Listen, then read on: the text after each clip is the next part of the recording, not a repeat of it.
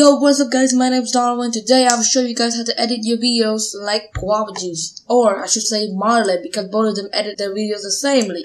Like similar eh, skills of editing, really. So, I'll show you how to edit your videos. Again, this is extremely short because it's ex extremely easy to edit like that. So, now I'm gonna bring up the Marlin video that you could find. I don't need the music really the you could find us on my main channel, the Donaven Tube channel. You guys could find that. Now let's see. For example, it's just coming in like this, right? It's fading in.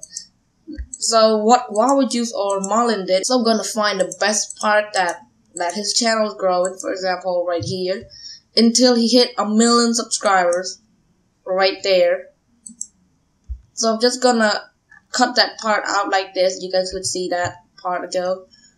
So for example, this is the part that he, let's just say this is the start of our video. Then this is like when he reached 1 million subscribers. So you could just cut that and control C like that. That's how easy it is. Just click on it and control C like that. Zoom out, then move this to the side, control V.